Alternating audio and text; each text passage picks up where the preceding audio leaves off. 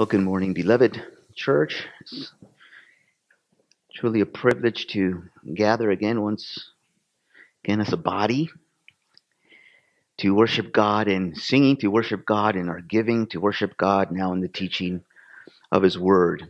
If you would please turn your Bibles to Galatians chapter 4. Galatians chapter 4.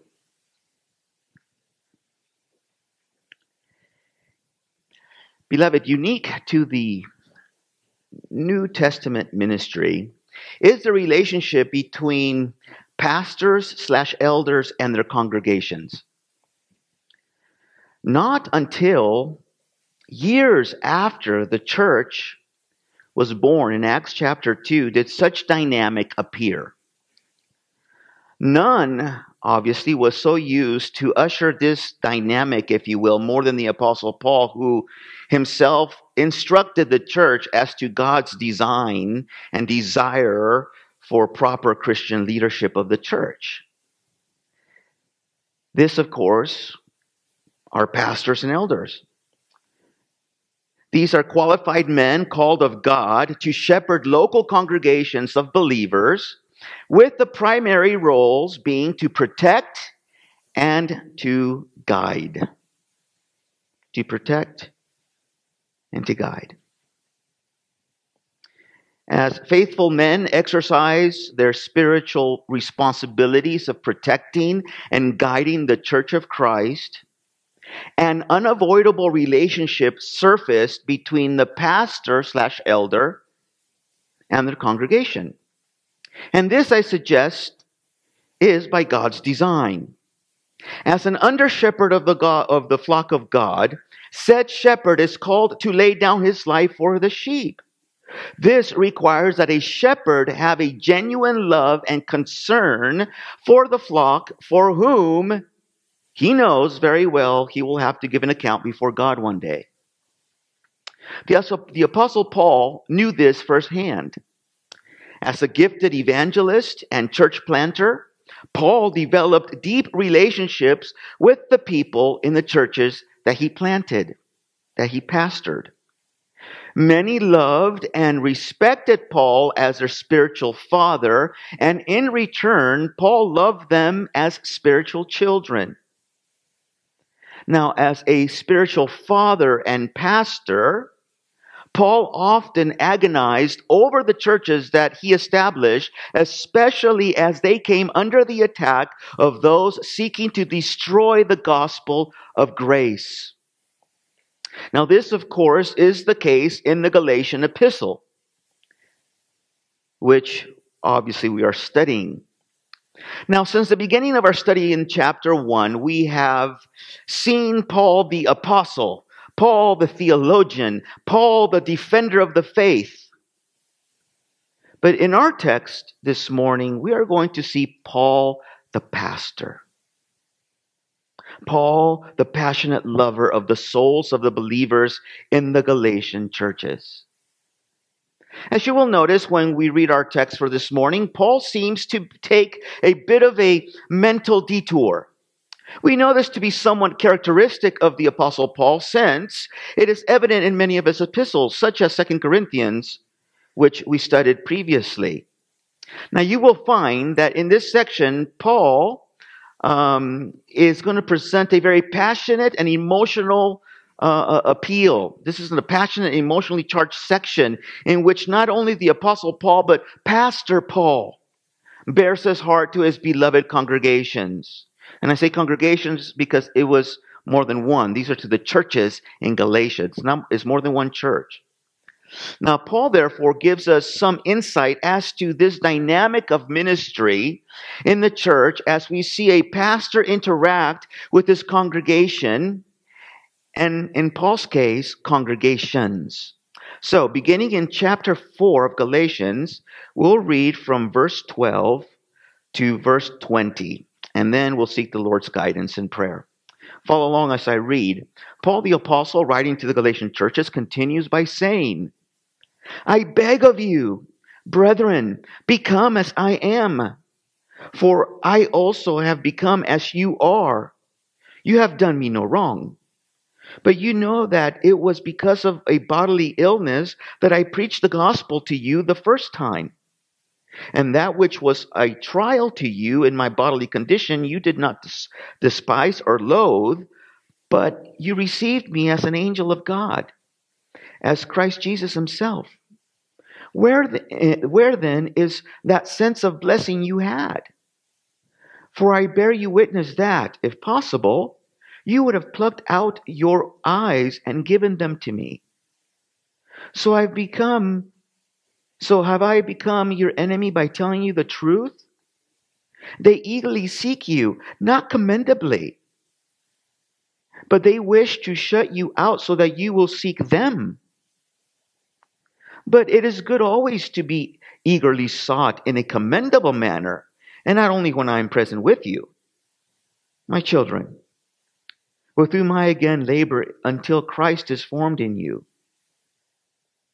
But I could wish to be present with you now and to change my tone, for I am perplexed about you. Let us pray. Father in heaven, we thank you for your word.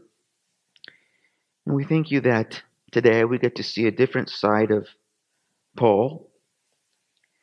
Obviously, he has never ceased to be a pastor, but as he began this letter, he was more a theologian, more a, an apostle. But now we get a little bit of insight into his heart towards his beloved congregation. Father, we pray that you would give us discernment, therefore, as to what we've just read, that you would give me clarity, that your people may hear and understand, so that they could apply and obey. Father, we know that without you, this would be impossible. So we ask that you go before us now in Jesus' name. Amen. Beloved, as you read this passage, I trust that you, uh, like me, see the difficulty in outlining this passage for the purpose of teaching. It is not a didactic uh, portion of Scripture as we have seen in the previous chapters thus far. Therefore, I decided to divide the passage by simply following the natural divisions of Paul's appeal and of Paul's argument, trusting that as we do, we will identify principles that are applicable even for us today. We're going to study these verses under five short divisions or five, five short headings. And the first of this is this. First, in chapter uh, in, in verse 12a, we see Pastor Paul's appeal. Now, you will hear me uh, address Paul as pastor to really drive home the point that what we have before us is not Paul the theologian or the apostle. Of course, he doesn't cease to be both, but we see more of a pastoral appeal now. So we see first, Pastor Paul's appeal in verse 12a, when he says, I beg of you, brethren, become as I am, for I also become as you are. Now, given Paul's concern for the Galatians' departure from the basics of the gospel of grace towards more of a work based Jewish system, he proceeds by begging and exhorting his beloved children in the faith to become as I am, which, interestingly, is the first imperative in Galatians. Prior to this, there's been no imperative. So here, here's a command, if you will, imperative that the pastor gives to his congregation to become as I am. Now, by this, Paul is requesting that the Galatians be like him in living a life of freedom from the law, which he already had explained was but a tutor to bring people to Christ. That we learned last week in our, in our message. Now, of all people, Paul knew what it was to live under the bondage of the law. A Hebrew of Hebrews, circumcised on the eighth day. I mean, his Jewish pedigree was unmatched. He knew what it meant to live under the bondage of the law. There was no greater expert. But when Christ removed the blinders from his eyes and saved him, Paul realized that justification was by faith alone and not by works, lest any man should boast. Now, through the gospel of grace, Paul was liberated. He was freed from the bondage of a works based system of justification by Judaism. In this freedom, Paul was asking the Galatian believers to join him. In that sense, be like I am. I am free to the law. Galatians, you accepted the gospel by grace through faith alone. But now you're placing yourselves under the bondage of the law again. I beg you, I implore you, be like I am, that is, free from the law. In this freedom, Paul was asking the Galatians to join him. In essence, then Paul is saying, I have come out from being under the law. And in that way, I've become like you Gentiles, not bound to the law. Again, let me remind you that the, the primary audience is a Gentile one in the churches of Galatia. And becoming like them, Paul may have also be referring to his mode of ministry as he says in 1 Corinthians chapter 9, verses 19 to 23, where he says, "For though I am free, uh, for, for though I am free from all men, I have made myself a slave to all, so that I may win more." To the Jews I became as a Jew, so that I might win the Jews. To those who are under the law, as under the law, though not being under the law myself, so that I may win those who are under the law. To those who are without law, as without law. To those not being without the law of God, but under the law of Christ, so that I might win uh, those who are without law. To the weak I became weak, that I may win the weak. I have become all things to all men, so that I may by all means save some. I do all things for the sake of the gospel, so that I may become a fellow partaker of it. So, in essence, Paul's appeal then is one that comes from a concerned heart, that of a pastor for his people, his beloved congregation, who unfortunately are under the sway of legalistic opportunists. Now, knowing this, Paul exclaims, You have done me no wrong. And I suggest to you, he says this to ensure that the Galatian believers realize that Paul is not bitter in any way towards them, even though it may seem that way as we read chapters 1 through 3, where the Apostle Paul, out of love, was very direct as to their backsliding. But he says, he assures them that he has, he, they have done them no wrong. Again, to assure them that Paul is not bitter towards them, but rather deeply concerned over their lack of discernment. Moving on then, we go from a from Pastor Paul's appeal to notice Pastor Paul's remembrance in verses 13 through 15. When he asks them to remember, if you will, but you know that it was because of a bodily illness that I preached the gospel to you the first time. Now, it is more most likely that Paul did not intend to minister in the southern region of Galatia, but due to illness, he had to stop his journey. Now, obviously, we understand that that's obviously provident God, the sovereign Lord, who may have even in illness used Paul to stop there and to share the gospel. Now, there has been much speculation as to the type of illness that caused the apostle to stop traveling. Some say he suffered from epilepsy. Others say that Paul contracted malaria, extremely possible in that region of the world, which obviously can affect a person's eyesight. And others speculate on Paul having some sort of eye disease based on passages such as what we have here in verse 14, but also in chapter 6, verse 11, where Paul says, See with which with what large letters I am writing to you with my own hand. For those reasons, many believe that he had some sort of eye infection, eye disease. Of course, no one could know for sure, but whatever it was, it must have been, it must have made Paul somewhat repulsive in appearance. For notice verse 14. Of this bodily illness, if you will, that caused him to stop and preach the gospel to the Galatian, in the Galatian region, he says, and that which was a trial to you in my bodily condition, you did not despise or loathe. Here, Paul commends the brethren for not despising or loathing his physical appearance due to whatever illness he suffered from, but instead, notice, but you received me as an angel of God, as Christ Jesus himself. Now, beloved, what does this say about the Galatians? And why is Paul commending them, reminding them? Well, it speaks to their original acceptance of the gospel of grace preached by Paul, whom they realized was not only a simple but yet faithful servant of God, but possessed even the authority of Jesus Christ himself.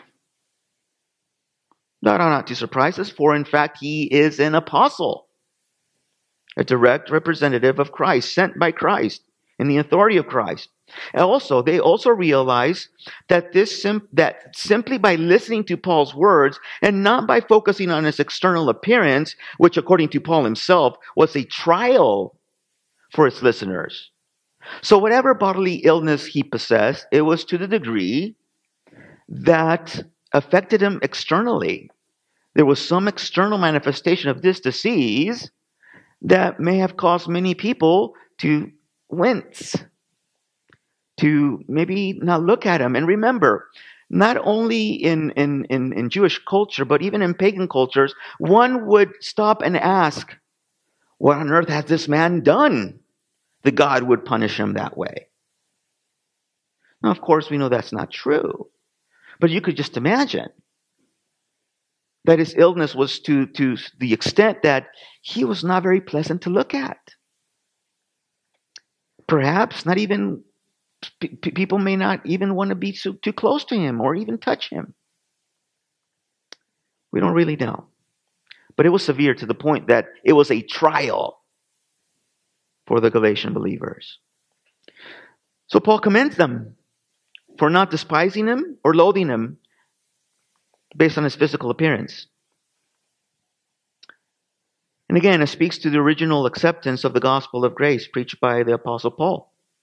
Again, they realized simply by listening to Paul that his words meant something. They were empowered, obviously, by the Holy Spirit. And it was not that by focusing on his external appearance that they received what he said, which, according to Paul himself, again, was a trial for his listeners. Now, this is a wonderful reminder, beloved, that congregations, reminder two congregations, that of which is most important in a pastor. Obviously, uh, not to be his external appearance, but the content of his heart and speech. Never mind what he looks like. Does he know Jesus? And can he help us know Christ better by teaching us his word? That is what matters. Beloved, think of the mockery that has befallen the church recently by pastors who look great on the outside. All these young, cool, tall, good looking pastors who care more about their social media following than personal holiness. Of these types of pastors, John MacArthur says it seems like they all shop at Forever 21, no matter how old they, how old they are.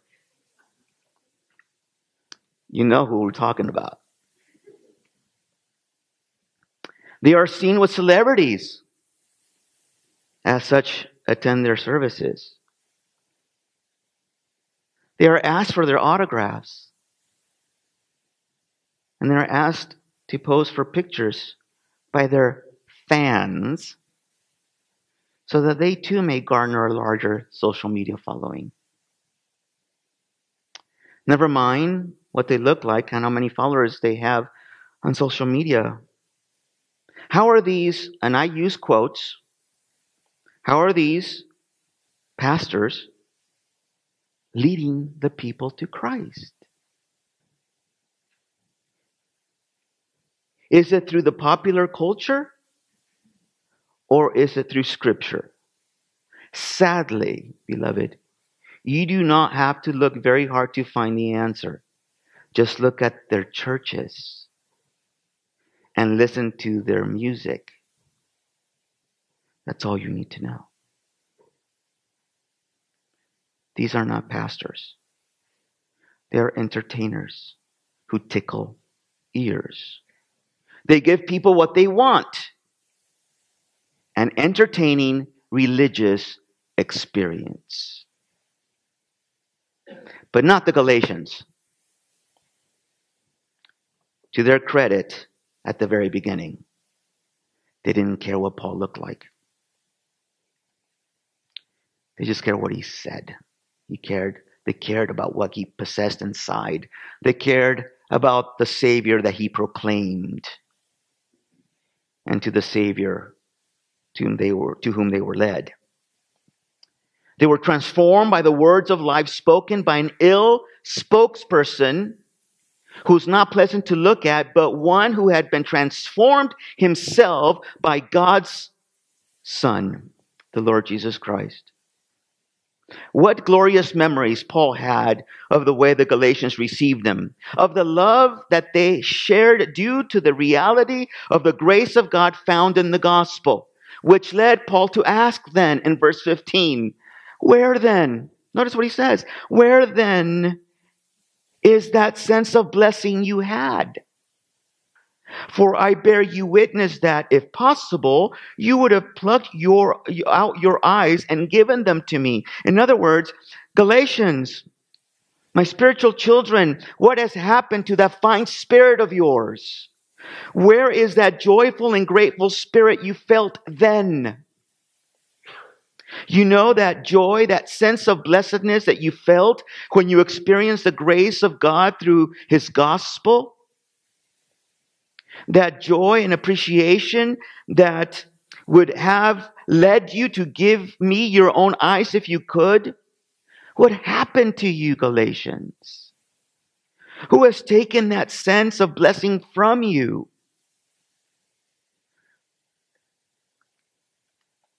Now, this is somewhat of a rhetorical question, for Paul knew full well who did it.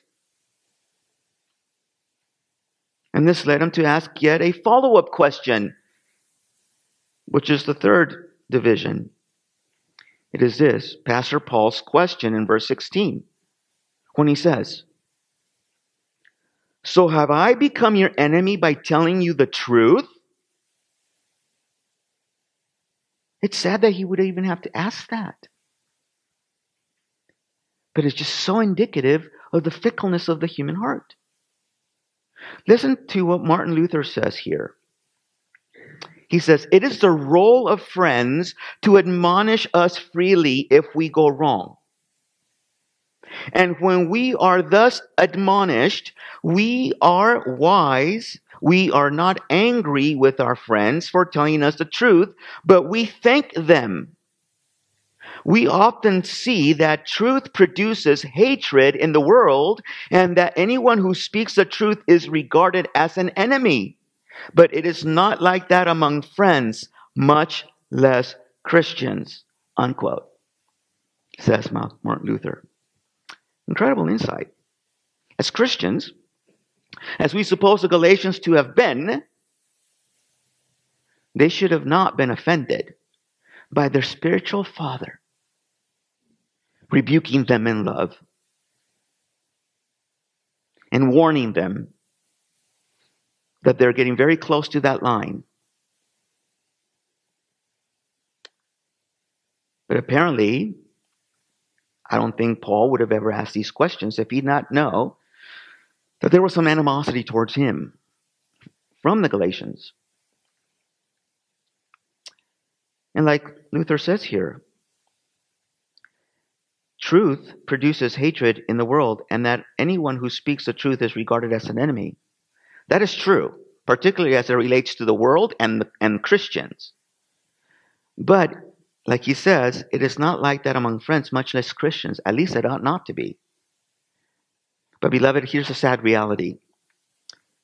One of the saddest realities in pastoral ministry is that those whom you would consider your closest friends sometimes end up becoming your enemies when truth lines are drawn. Even as non pastors, most of you probably under have experienced that. You can have a very best of friends, but then an issue comes up. And as a Christian, you say, I stand upon the truth of God, and you draw a line in the sand expecting your friends to stay on one side of the line with you as they themselves proclaim Christ as Savior and Lord, as they perhaps themselves proclaim the belief in the inerrancy of Scripture. But then you are amazed, surprised to find them on the other side. It's really sad. But that happens. During prayer time this morning with my brothers, I shared uh, some news that uh, it's, it's not new news, but there's new developments. Uh, this is in regards to First Baptist Church Orlando. Huge church. Feel free to look them up and see what's going on there. They are openly receiving, baptizing, and welcoming to membership transgendered, homosexuals, cohabitators, Southern Baptist Convention, some within the convention, not the convention itself, they should be kicked out, but they're not being kicked out. Some within the convention have uh, uh appealed to the pastors, met with the pastors, and uh, they're confronted with the truth. And just to give an illustration to the reality of what happens where truth lines are drawn, the two pastors that approach the, the, the two main pastors of this church left feeling like they were the enemy. They presented the truth. A line was drawn in the sand, scripturally. And the pastors of First Baptist Church Orlando, I don't mind saying, look them up, okay? Basically said, we're on that side, you're on this side in essence, you are now the enemy because you hate. That's what's going on right now, and it's sad. And I'll suggest to you that Paul felt something to that degree. You are my spiritual children, but yet you've, you, you, you, you've fallen under the sway of legalistic opportunists who are trying to put you back under the law. And in so doing, they are making you my enemy, or they are making me your enemy. Again, we are not to be surprised when this happens, beloved, for the Bible tells us that truth divides. Truth divides. Do we know that? Truth divides. Even Christ, as the way, the truth, and the life divides. He said so himself. Matthew chapter 10, verse 34 through 36. Do not think that I came to bring peace on earth or on the earth. I did not come to bring peace, but a sword. For I came to set a man against his father, and a daughter against her mother, and a daughter in law against her mother in law, and a man's enemies will be the members of his own household. Truth divides. Again, I'm, I'm almost certain that some of you understand that full well, as I do, even in, in, in, in my family, immediate family where he said, Thus says the word of God. This is what God says is wrong. This is what God says is right. I stand on the side of God. Where do you stand? And often they choose their lover, their sin, and forsake even family. But see, that's not what's the, the saddest part of it. You can forsake me all you want. The sad part is that you forsake Christ when you do that. Now, With this, I love what John Stott says here as well when he says, There is an important lesson here. When the Galatians recognized Paul's apostolic authority, they treated him as an angel, as Christ Jesus. But when they did not like the message, he became their enemy. How fickle they were, Stott says. How foolish. An apostle's authority does not cease when he begins to teach unpopular truths. But sadly, that is exactly what happened.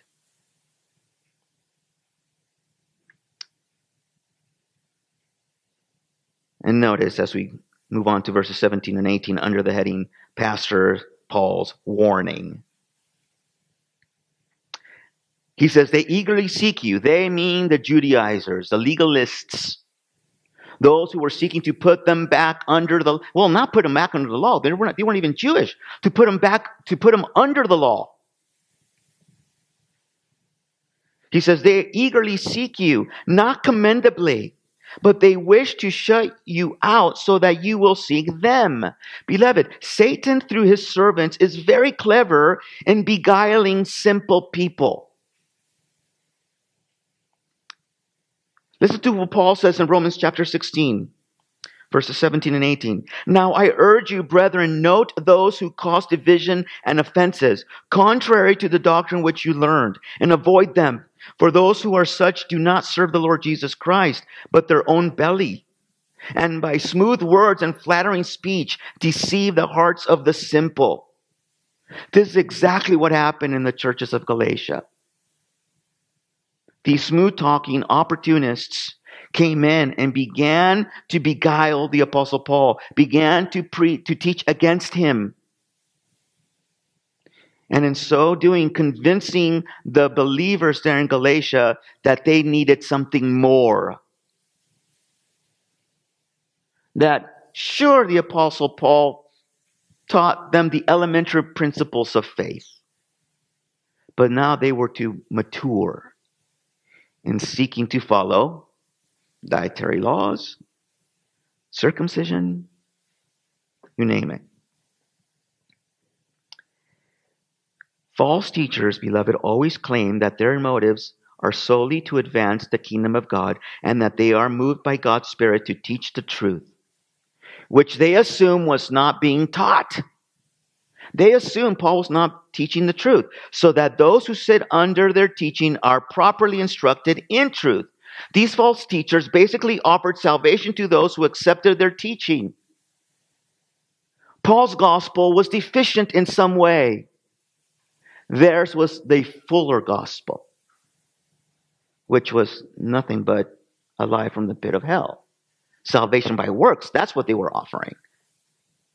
Beloved, how often is it that when a pastor or group stands up and speaks against what is not true or wholesome, and in return gets ridiculed and labeled as a hater, as one who is jealous for someone else's success to the point that people begin to question your motives for speaking out against unhealthy teaching or just flat out wrong teachings. Now you're the enemy. You're the intolerant. You're the hater. You're the whatever phobe. Fill in the blank. You're, you're uh, as as believers in the inerrancy of Scripture, we're afraid of everything. Apparently, We have a perpetual phobia of anything that is not to our liking, and that's not true. Again, Martin Luther is helpful here when he says, If vigilant and faithful pastors do not withstand the ravaging wolves, these false teachers will do great harm to the church under the pretense of godliness. No wolf ever comes into the church and announces himself or herself to be a wolf. They don't do that. But nevertheless, that is how they come in. Now, Paul is not jealous that they were seeking after his spiritual children.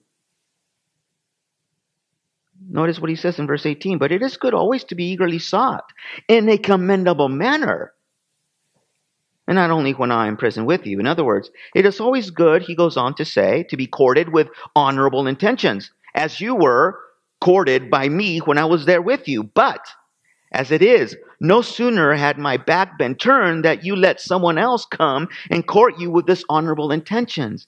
And beloved, let me, let me assure you that cults, false religions, false teachers are experts at that. They will come and they will hang the moons and stars for you. They will bring you food. They will take you places. They will, they will do whatever it's necessary to get you to believe that they really have your best interest in mind.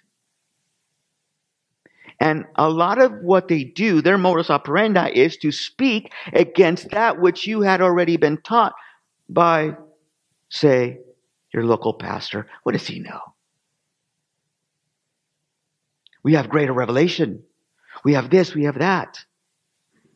It's really sad that it exists, and it's sad, even sadder, it works. So Paul's saying, look, you lack discernment. I'm not saying that it is bad that people would seek your approval and to court you, for lack of a better term, but they're doing it in a dishonor with dishonorable intentions. They're opportunists. Now, this leads us to the fifth division here. This is Pastor Paul's desire in verses 19 and 20. So obviously with a, with, with a heart that is torn, concerned heart as a pastor, he says, now my children. Now we're used to this word being used by the apostle John. My little children, my children, term of endearment. Paul doesn't use this word, only here. He says, my children, with whom I am again in labor until Christ is formed in you. Now, some might be saying, Paul, you're a man. What in the world, what do you know about labor?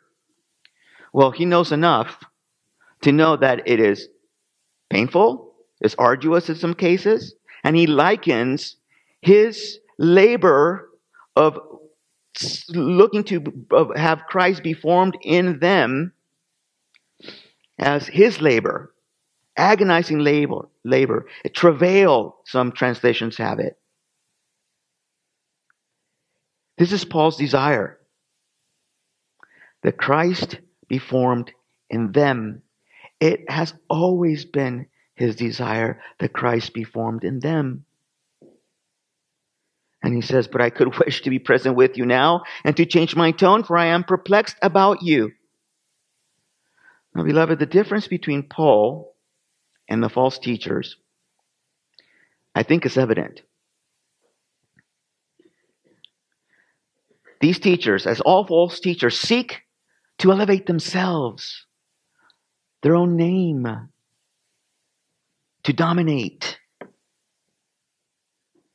Paul, on the other hand, simply wanted Christ to be formed in his spiritual children, in his listeners. Whereas these false teachers were selfish in their, in, in, their desires, Paul was prepared to sacrifice himself for them, to be in travail until Christ was formed in them, to be in labor pains for as long as he needed to, just so that Christ would be formed in them.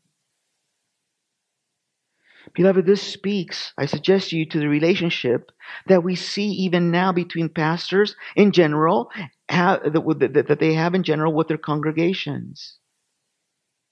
It is, or ought to be, any pastor that is worth his salt, it should be his desire, and the elders' desire, that Christ be formed in their congregations.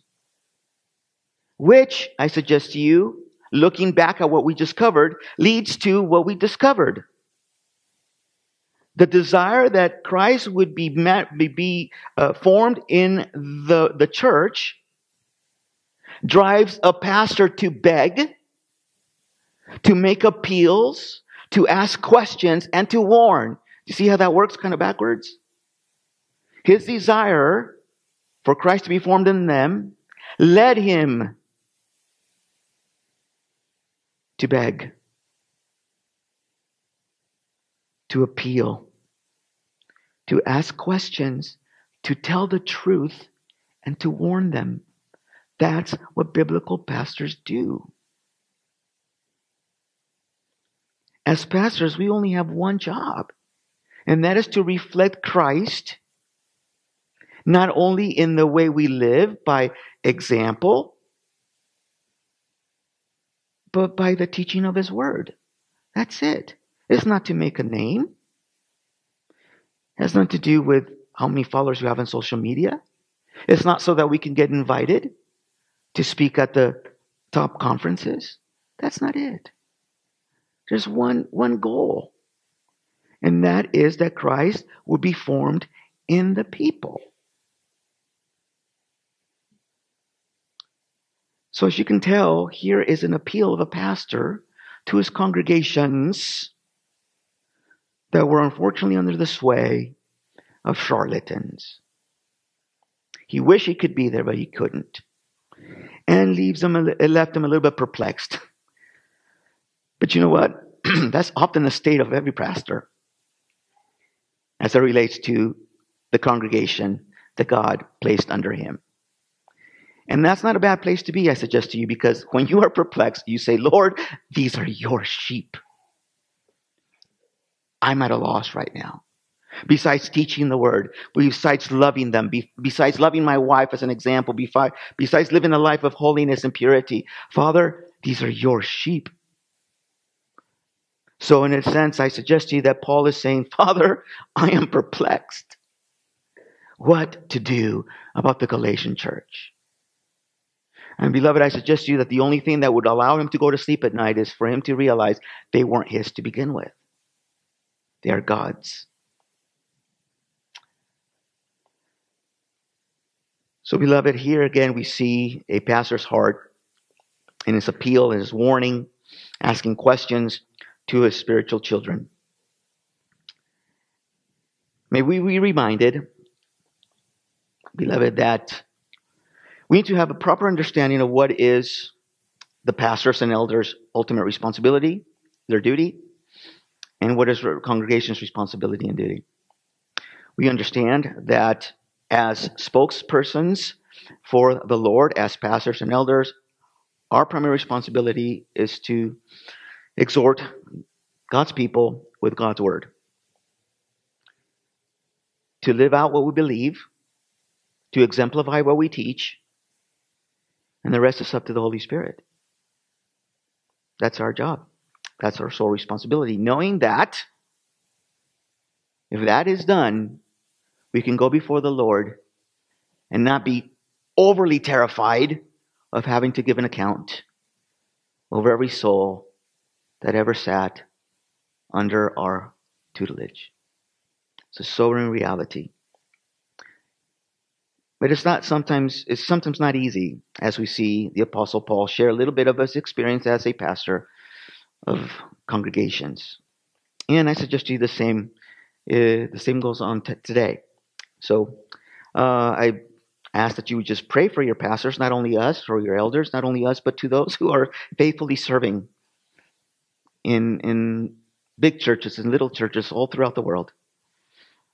That uh, we may remain faithful knowing that it all revolves around the scriptures. To the degree that we are able to bring God's people to Himself through His Word, then that's basically all that God would ask of us. Let us pray. Heavenly Father, we do thank you for this morning and the reminder that pastoral ministry is interesting and for the reminder that the enemy would love to come in and divide a congregation from their shepherds. And he often does that by implanting wolves that come in in sheep's clothing, preaching something contrary to that which was taught by their pastors. And in most grievous way, like these false teachers did in the churches in Galatia who taught against the gospel of grace and taught a justification that was earned by human works. Father, we do not blame the Apostle Paul for his severe tone to his beloved children. That's what a beloved father does. Father, thank you for the reminder that often As we see in our lives, truth divides, truth separates. Father, as this world continues to get darker, and as the truth of Scripture continues to divide, even in greater ways, we ask that you would keep us strong.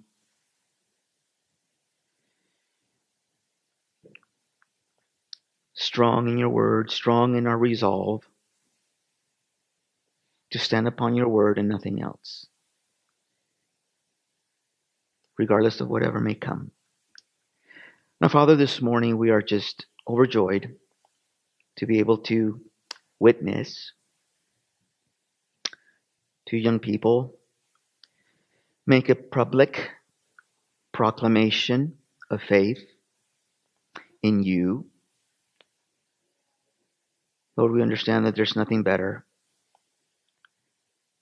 Lord, we also understand that it is imperative that one who has been transformed by the gospel at some point make a public proclamation of their faith. Not in order to be saved, but because they are saved. Now, Lord, as our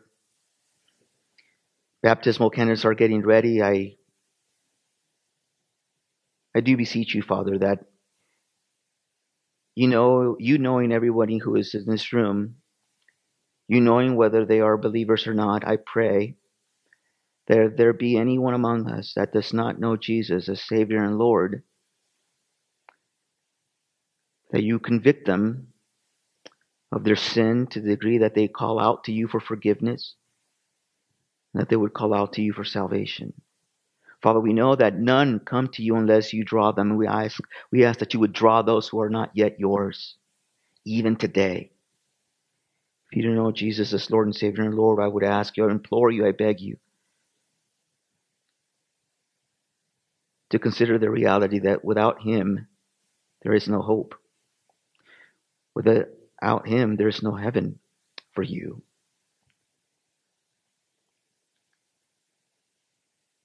I would therefore ask that you would just simply acknowledge your sin before the Holy God. Acknowledge that you have failed Him, that you are guilty, and as such worthy of death. But that in the name of Jesus Christ you come seeking forgiveness, seeking to be washed, knowing that you are justified simply by faith. Oh, how I pray that that would be your, your reality here today if you don't know Jesus as Lord and Savior.